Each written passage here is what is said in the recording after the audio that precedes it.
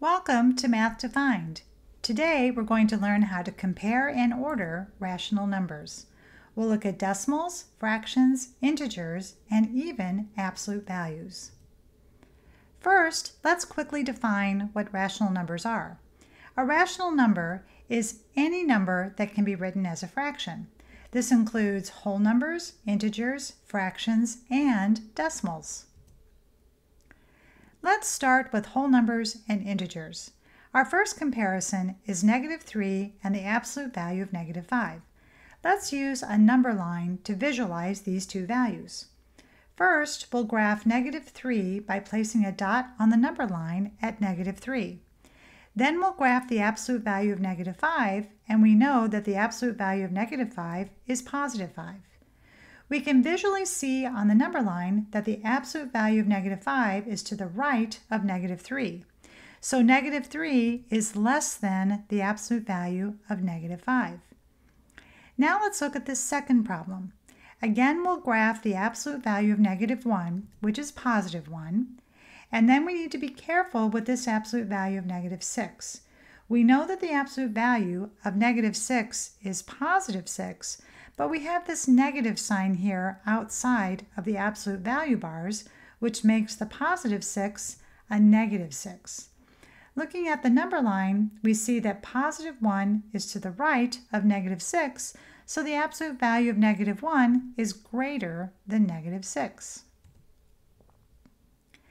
Now let's graph and compare some decimal numbers.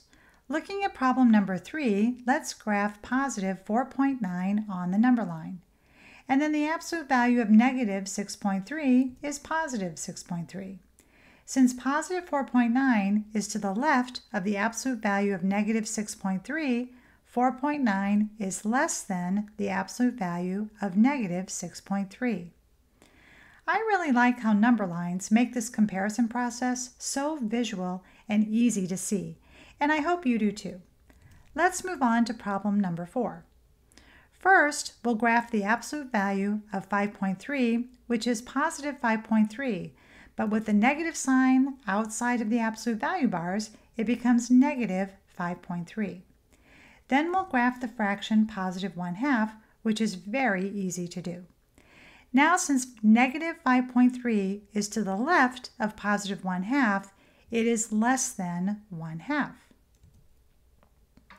Here's a fun fact. The concept of a number line dates back to ancient Greek mathematicians like Euclid and Archimedes, who used geometric representations of numbers, which evolved over time into the number lines we use in modern mathematics today. Now let's move on to fractions. To compare fractions, it's often easiest to find a common denominator. Let's compare 1 fourth and 3 eighths. Looking at the denominators, we see that 4 is a factor of 8. So let's use 8 as the common denominator. Now to find the equivalent fraction, we multiply 4 by 2 to get 8, and the numerator by 2 to get 2.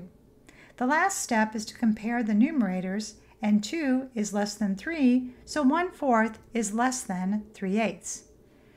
You can also use a number line to compare fractions. First, let's graph the absolute value of negative 1.5.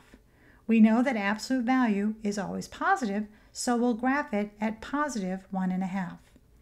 Then we'll graph 1 and 1 fourth. On the number line, we see that the absolute value of negative 1.5 is to the right of 1 and 1 fourth, so it is greater than 1 and 1 fourth. Now let's put it all together and order this set of numbers from least to greatest. Looking at this set of numbers, we see that we have just one fraction. We could convert this fraction into a decimal number and then order them from least to greatest. I'm going to use a number line, just because it's easier to visualize the order. First, we'll graph the absolute value of 3.5, then the absolute value of negative 1.8, 4.6, 3 and 2 fifths, and the absolute value of 2.7.